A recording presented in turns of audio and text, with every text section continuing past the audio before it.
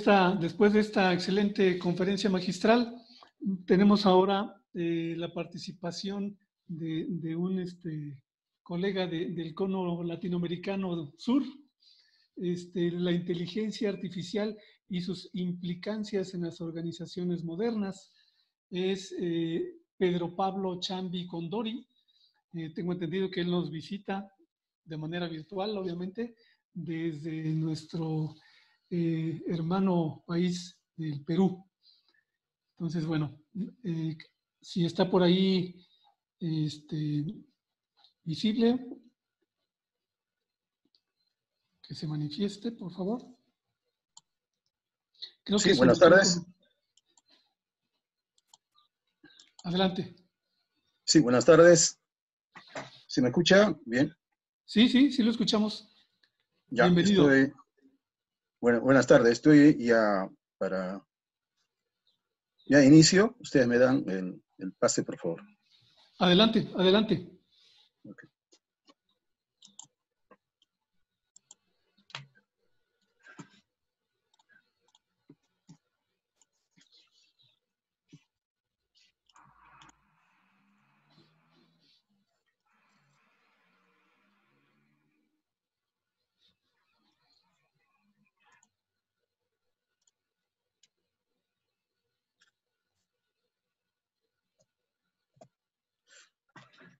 Bien, buenas tardes. Eh, muchas gracias a la Universidad Nacional Autónoma de México y a los, al tercer congreso por haberme invitado para participar este, en este evento tan importante. Bueno, eh, esto es la tercera vez que estoy en México, por supuesto en esta oportunidad en forma virtual, en las anteriores oportunidades estuve en San Luis Potosí y, y también estuve en Mérida en, el año pasado, ¿no? Entonces, en esta oportunidad, este, ciertamente he escuchado al doctor que ha expuesto anteriormente que como que no le gustara mucho la palabra inteligencia artificial, pero bueno, vamos a dar una mirada rápida, las implicancias de la inteligencia artificial y su impacto en los negocios, sean privados o sean públicas. El contenido de mi participación eh, está dividido en cuatro componentes. Un componente introducción, en donde hago una ligera referencia de, desde a la aparición en la literatura de la inteligencia artificial, hechos estilizados por un lado y por otro lado las referencias acerca de la investigación, objetivos de la investigación y he tratado de dar una pequeña reseña y hipótesis para luego en cierta forma con información secundaria contrastar esta hipótesis. La metodología utilizada y resultados y conclusiones finalmente. Bueno, eh, se conoce de la inteligencia artificial desde los años 1955. Estaríamos en este momento contando este, algo de como 61 años de este, la aparición formal ¿no? de las primeras referencias que se encuentran en la literatura y las aplicaciones que luego se han mostrado, como el caso Nissin, y luego posteriormente con la aparición del lenguaje de programación de sistemas expertos como es el DISC, y posteriormente con la aparición del lenguaje Prolog, que también sirve para la, eh, la implementación de aplicaciones de sistemas expertos y un poco emular los comportamientos de inteligencia artificial. Los subtemas de inteligencia artificial diríamos que son cuatro campos importantes. Una de ellas precisamente es el, procesamiento del lenguaje natural, que es la que ha tenido impacto no solamente en las organizaciones, sino también en las familias y en la sociedad en su conjunto. Y una de esas aplicaciones lo podíamos ver en el caso de las chatbots, ¿no? que es eh, una herramienta para manejo de mensajería de clientes, y por otro lado, los asistentes virtuales, análisis de sentimiento, que no es otra cosa que recojo de emociones de las poblaciones eh, que se quiere estudiarlas y clasificarlas y en función de ellas los negocios puedan tomar algunas decisiones de marketing, por ejemplo. Y por otro lado, la clasificación de documentos. El otro tema que es importante es el tema de visión artificial. La visión artificial, eh, sin darnos cuenta, está presente, creo, en casi en todos los negocios. Las estadísticas muestran que efectivamente está presente en la visión de los coches autónomos.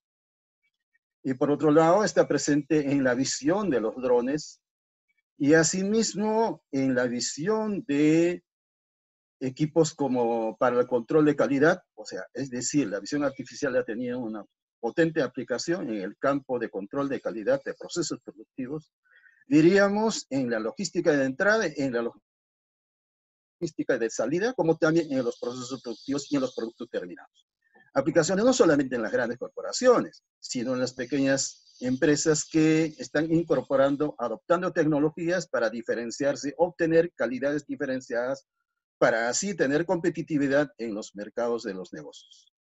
En el caso específico del Perú, Concitex es una institución que financia ciertas adopciones de tecnología, adaptación de tecnología a favor de economías pequeñas, ha adoptado, ha financiado, diré, ha financiado investigaciones aplicadas de adopción de tecnologías de inteligencia artificial, por ejemplo, en café orgánico. En la selva hay ciertas aplicaciones de control de calidad de café orgánico que aporta cualidades de calidad para que este café pueda tener competitividad en el mundo y por tanto pueda agregar valor a estos pequeños negocios.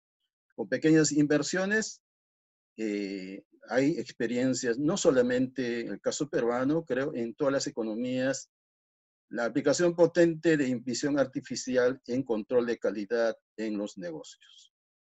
Por otro lado, la robótica no se queda atrás, la vista que se asemeja a la vista humana, que es la pretensión de los que están apostando por el aporte de inteligencia artificial en los negocios, ciertamente que los robots tienen que tener visión para poder desplazarse como que fuera ser humano en los procesos productivos, en las plantas y en las organizaciones y en las diferentes actividades que estén desarrollando. Y especialmente en aquellos espacios, los robots sean históricamente se han adaptado o se han utilizado en aquellos espacios donde los seres humanos, por cuidado de su salud, de su integridad física, no podrían hacerlo en condiciones eh, de alta erosión, no podían hacerlo, entonces los drones intervenían, los, perdón, los robots intervenían haciendo lo que el ser humano podía hacer en esos ambientes. Y el otro campo de aplicación eh, importante es para el tema de sistemas de seguridad. Sistema de seguridad, obviamente, para las empresas también, por un lado, y por otro lado, en el plano social, para hacer seguimiento y control en el tema de seguridad ciudadana frente a la ola expansiva de delincuencia y de problemas de violencia social. Y las aplicaciones realidad aumentada para efectos de otros usos, como el caso de la cinematografía, por ejemplo. La robótica, eh, los procesos automatizados en las plantas de procesamiento eh, es eh, ya ampliamente conocida en, por ejemplo, en energía nuclear, del cual ya conocemos la historia, pero también en ambientes, por supuesto, la robótica tiene una potencial aplicación que vamos a ver más adelante en las estadísticas, ah, en los países altamente desarrollados, ¿no? el tema de tecnología. El otro tema, el otro tema de aplicaciones de inteligencia artificial está reconocimiento de voz.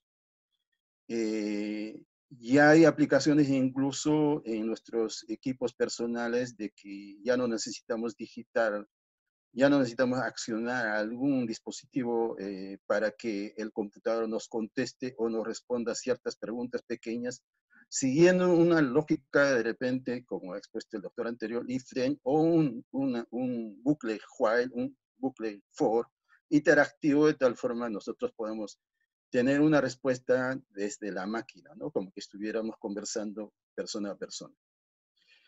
El otro tema que está en auge últimamente, desde 2015 hacia adelante, es el tema de Machine Learning. Machine Learning es eh, dar vida, potencia, creo, a los eh, modelos estadísticos, modelos econométricos que ya se venían aplicando para los negocios, para hacer pronóstico, para hacer estudios por escenarios, análisis de riesgos, simulaciones. Entonces, con la asistencia, por ejemplo, de lenguajes de programación Python y los codificadores Visual Studio Code y otros codificadores, que existen muchos de ellos, Hoy en día es posible de poder utilizar estos modelos algorítmicos, matemáticos, estadísticos y prepararlos para que eh, pronostiquen lo que puede pasar en el futuro haciendo cambios en lo que podría presentarse en ciertos escenarios de análisis de riesgo, por ejemplo. En estas coyunturas tan riesgosas, sí se pueden utilizar este, esta herramienta con simplemente adopción de ciertas tecnologías para que las empresas, no solamente empresas, sino la sociedad en su conjunto, aporta atributos para la toma de decisiones, para que la toma de decisiones se haga con calidad o con soporte de información. Y Deep Learning no es otra cosa que la aplicación eh, precisa de Machine Learning para casos específicos que gira en torno a los mismos algoritmos y modelos matemáticos, modelos econométricos, modelos estadísticos. La automatización robótica de procesos comprende ciertos campos, no solamente los procesos productivos, también intervienen en análisis y procesamiento de datos, automatización de la gestión de factores de producción, utilidades de diferentes aplicaciones, procesamiento de pedidos clientes, ¿no? Big Data y analítica web, que es una que en el año, por los años 2011, 2015 ha estado en la cresta de la estadística de adopción de tecnologías de Big Data, analítica web, precisamente para estudios de marketing, para que sea un sistema de soporte para procesamiento de datos para los marqueteros y en función de ellas las empresas podían desarrollar nuevos modelos de productos y de repente enfocarse a ciertos segmentos de mercados. Y a su vez la robótica integra otras herramientas.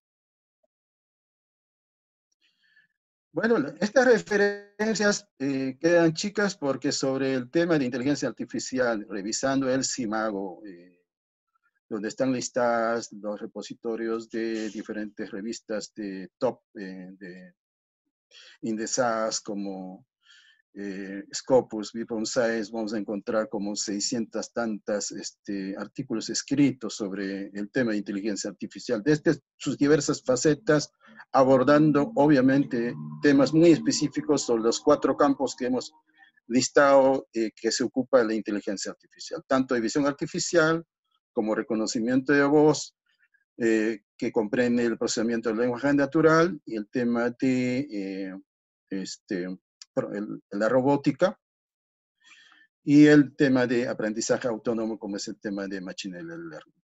Entonces, eh, las primeras referencias se, eh, lista, por ejemplo, se refiere a John McCarthy, que ha creado en el año 1955 el LISP, que es un primer lenguaje de aplicación de, eh, de inteligencia artificial que, que, ciertamente era para construir sistemas expertos, que es la primera manifestación de de aplicaciones de inteligencia artificial utilizando el software en este caso. Y posteriormente, 1961, Marvin, que aplicó su primera paso hacia la inteligencia artificial, su primera publicación en la Universidad de Stanford, y entre otros, y finalmente hay otras aplicaciones que ya eh, Francia y Prolog en el año 1972, y así sucesivamente hasta nuestros días. Objetivo de la investigación, bueno, el objetivo de la investigación era, eh, este, y es en este, para este trabajo que comparto, revisar a ver qué cantidad de investigación se ocupaba del de, tema de, de, implicancias de inteligencia artificial en los negocios. Y revisando entre ellas el Scopus y Web of Science y Dialnet y, y otras revistas indexadas de primer orden, Hemos encontrado algo como 72 artículos y, decantando por, el tema de redundancia o de repente son artículos de revisión, nos quedamos con algo de 62 artículos y, la metodología era precisamente eso, revisar las publicaciones que existen que aborden temas de eh, adopción de tecnologías de inteligencia artificial que aporten valor a los negocios en sus diversos campos y en los diversos sectores industriales. La hipótesis eh, que nos planteamos para este trabajo de eh, aplicación, eh, para este trabajo, perdón, de investigación, era a ver cuáles, si es que existen evidencias sobre el impacto de inteligencia artificial en los negocios, que es lo que se lee en este texto. La metodología que mencioné un poco, eh, que mencioné un poco, este, se refiere a cómo se hizo la búsqueda de estas revistas indexadas para poder eh, eh, sistematizarlas, organizarlas y obtener información de las implicancias que muestran estas investigaciones y que han tenido impactos en los negocios. Y adicionalmente hemos utilizado la información de índice de inteligencia artificial de la Universidad de Stanford del año 2018-2019 y los reportes de Foro Económico Mundial del año 2015, 16, 17, 18, 19 para obtener cierta información cuantitativa o percepciones cuantitativas. Bueno, la metodología ya mencioné, hemos, hemos, localizado 73 artículos, de los cuales hemos decantado 62 artículos, también hemos utilizado la data que mencioné hace un momento, y a partir de ellas obtenemos los siguientes resultados. Los resultados en el tiempo del año 2009 a 2018, o sea, en los últimos 10 años, la inversión privada en US dólares está en, eh, ahí en en expansión a partir del año 2015, diríamos, hacia 2018, que ahí encontramos un repunte muy importante que va a por encima de 40 billones de dólares. Pero ese repunte viene más o menos en el año 2011, 2010, 2012 se, se crece un poquito, eh, hay una contracción en el año 2013, Prácticamente a partir de 2014 ya se nota el incremento, eh, diríamos, creciente, no exponencial, pero creciente, y, lo más eh, fuerte se observa en el año 2018, ¿no? por encima de 40 billones de dólares, inversión privada en todo el mundo en los últimos 10 años. Los sectores que han sido impactados fuertemente con eh, las aplicaciones o con la adopción, diríamos, que aplicación, sino adopción, las empresas adoptan ciertas tecnologías para hacer mejor sus cosas en los negocios. Uno de ellos es el tema de coches autónomos, ¿no? Y básicamente es sobre el tema de visión artificial y controles automatizados y con un 9.9%. El otro tema, el otro sector beneficiado o impactado con esta adopción de tecnología viene a ser la industria farmacéutica, ¿no? que ahora ya se habla de Big eh, Pharma, que significa negocios eh, de farmacias de gran envergadura que bajo ciertos sistemas automatizados que podrían estar interconectados con una capacidad de producción bastante grande. ¿no? El reconocimiento facial, cuya aplicación fundamental estaría para capturar los patrones de comportamiento de las personas para efectos de control, de repente, de migrantes, migraciones, eh, eh, traslado de personas y también en el control de violencia social o delincuencia para identificar rápidamente a las personas. Y así sucesivamente podemos este, narrar más adelante las diferentes aplicaciones en los, en los negocios que se han mostrado. Y últimamente podemos en, en la cola está la criptografía, ¿no? que significa eh, este, intervenir en la seguridad que hay que dar, por ejemplo, en los negocios de las redes, en los negocios digitales. ¿no? Con un porcentaje de 1.70%. Pero más abajo todavía hay otras aplicaciones que en otros negocios se, se ha listado lo más importante que aparece en índice de inteligencia artificial de la Universidad de Stanford.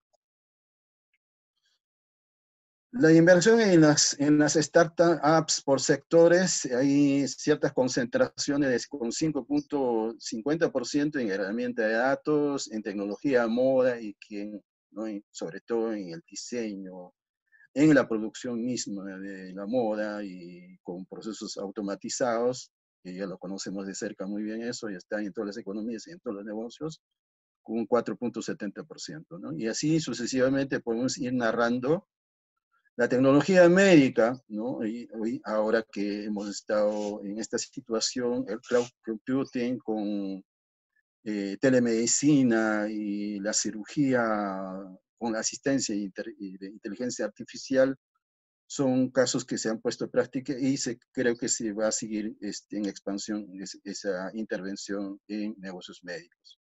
Y así sucesivamente para reclutamiento de recursos humanos, más abajo vamos a encontrar en los negocios de marketing, en el tema de tecnología de bienes raíces.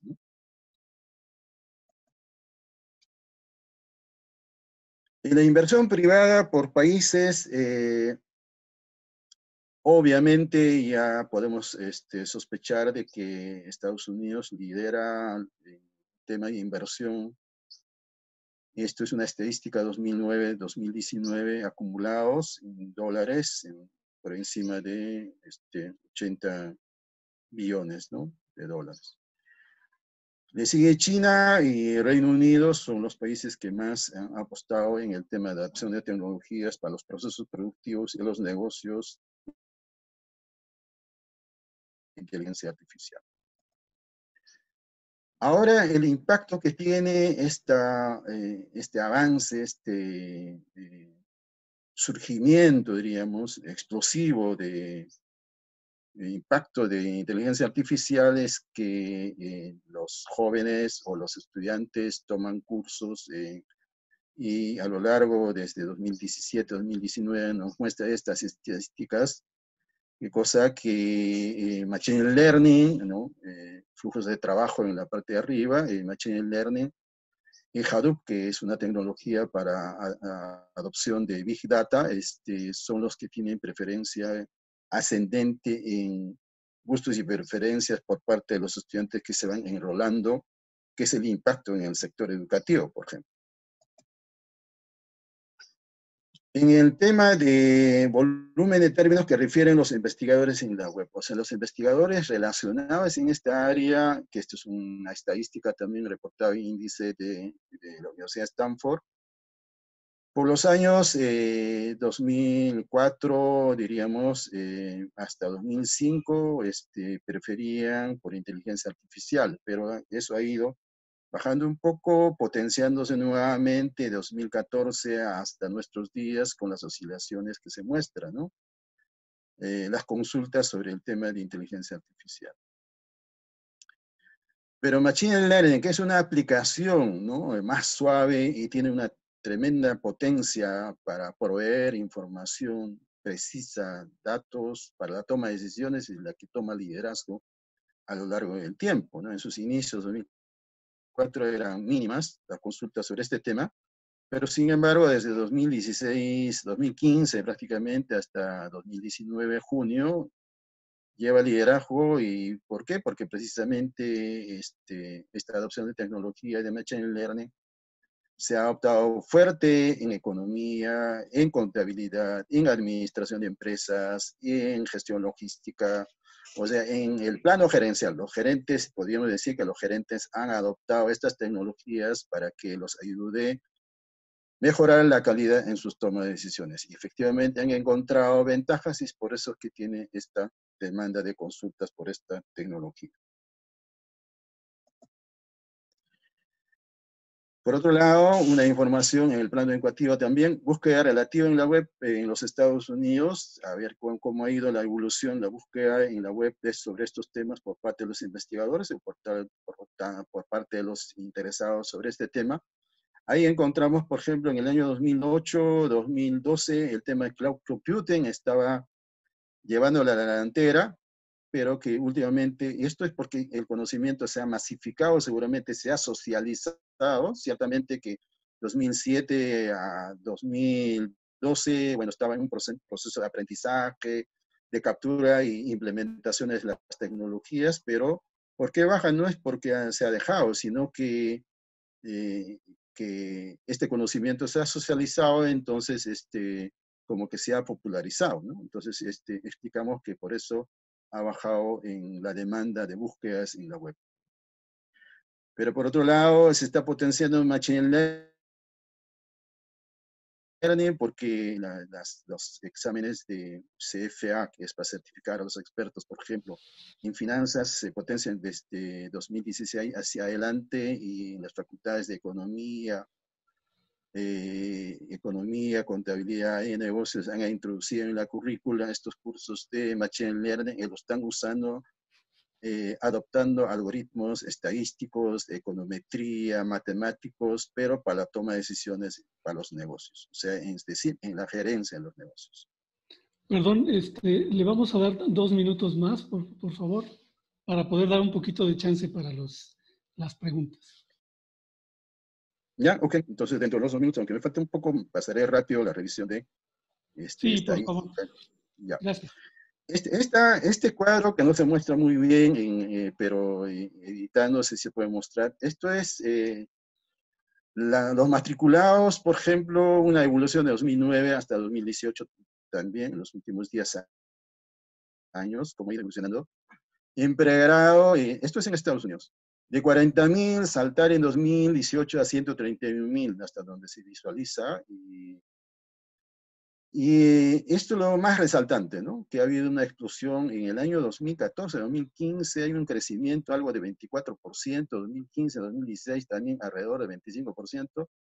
Ciertamente que más abajo ha estado por encima de 10%, 14, 15%, pero el explosivo crecimiento de demanda por estudiar estas carreras en Estados Unidos ha estado en el año 2013, 14, 2015, con un porcentaje de 25% de crecimiento interanual, diríamos. En el tema de eh, la gente que obtiene PhDs en estas áreas, no ha habido mucha variación. Eh, entendemos que son estudios de alta especialización y, y, los que adoptan desde pregrado llegan hasta este y no, no ha habido disminución. Una ligera este, tendencia de crecimiento. Ahora lo que se espera, esto es una estadística de Foro Económico Mundial, una encuesta que han hecho a 100 asistentes eh, en este, al foro. Y lo que muestran de acá, ¿qué se puede esperar con la adopción de inteligencia artificial a 2025? Entonces, ahí podemos ver una de, por ejemplo, primer teléfono móvil implantable, disponible comercialmente, creen o perciben 81.5 70% de los entrevistados. Y el 90%, por ejemplo, ahí se lee en la segunda parte, el 90% de la gente tendrá almacenamiento ilimitado y gratuito.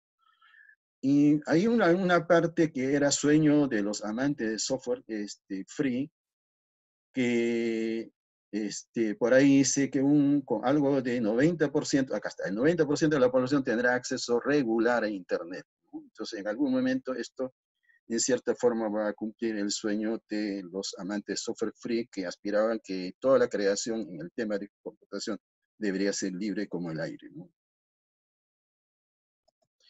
Conclusiones, podemos decir sí, es explosivo el crecimiento de adopción de tecnologías por parte de la empresa privada y de la sociedad en su conjunto también, por organizaciones públicas, para diferentes cosas que ellos hacen. En nuestras economías, particularmente en el Perú, la adopción de tecnologías para la seguridad ciudadana es conocido que la violencia social en el Perú se ha incrementado este, enormemente en los últimos 10 años.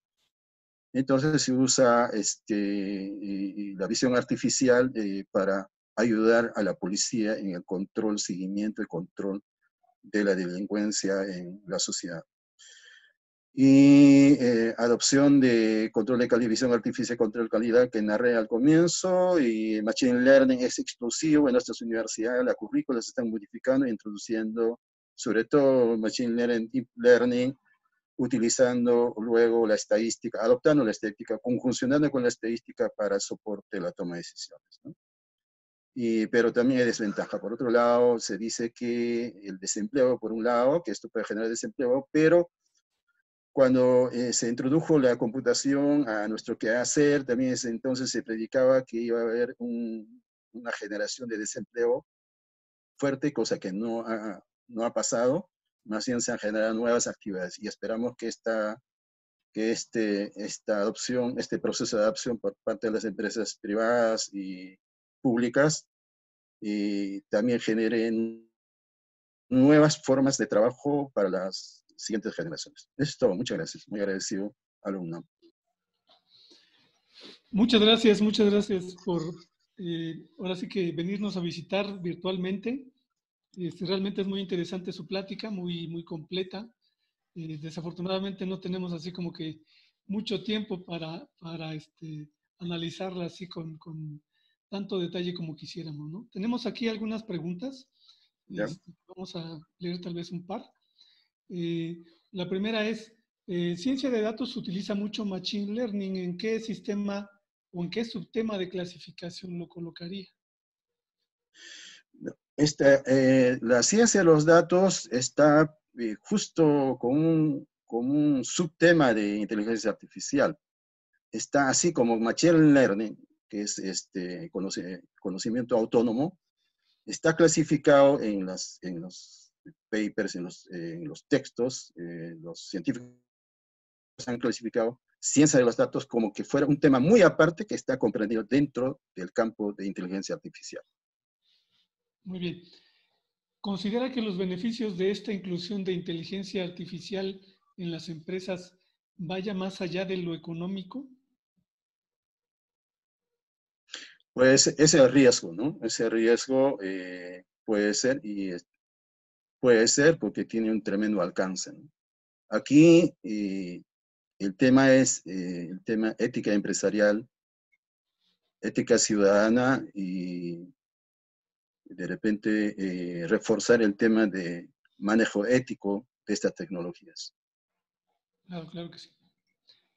La tercera pregunta, ¿qué criterio siguió para elegir sus fuentes de investigación documental?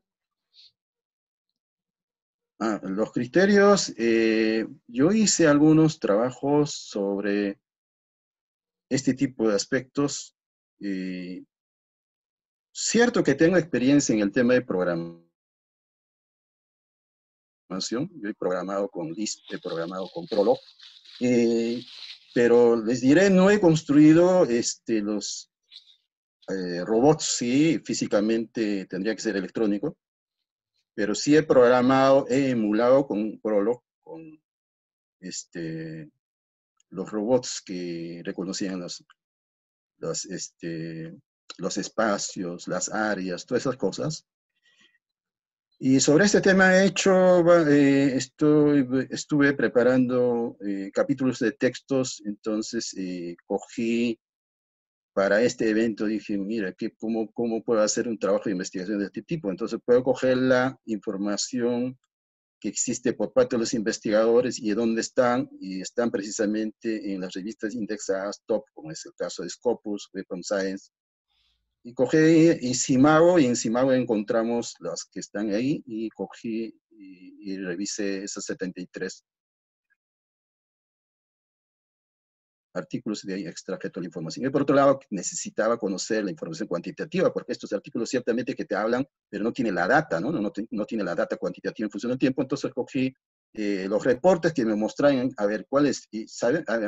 por información eh, verbal o periodística, sabemos que, bueno, había una aplicación, que visión artificial, que para la seguridad ciudadana, sí, pero quería conocer la estadística. Entonces cogí los reportes de la Universidad de Stanford, que están muy bien detallados y cuantificados con ayudas Excel, incluso la data ahí, que es lo que me ha servido para cuantificar y mostrar esos gráficos. Muy bien. Pues le agradecemos, le agradecemos mucho realmente su participación, que se haya dado su escapada virtual hasta acá. Este, que haya llegado con nosotros al Congreso Nacional de Tecnología y le vamos a dar un eh, reconocimiento virtual que le haremos llegar de manera electrónica para que usted lo, lo, tenga por ahí presente.